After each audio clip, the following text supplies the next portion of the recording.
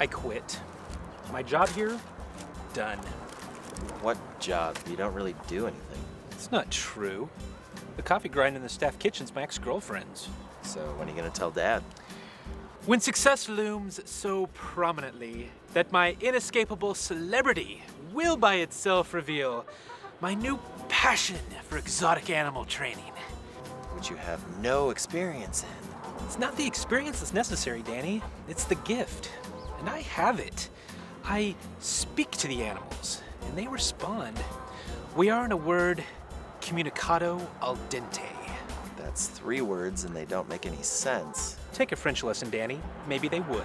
Well, I'm not, I'm not gonna be lending you any money when you're struggling. Does the lemur struggle during the mating ritual? Does the meerkat struggle when it digs? This is the way of the animal kingdom, Danny. And I shall be their lord and master. Don't forget though, as lord and master, you probably shouldn't be eating chicken fingers while governing over the animal kingdom. There's sacrifice to the cause, Danny.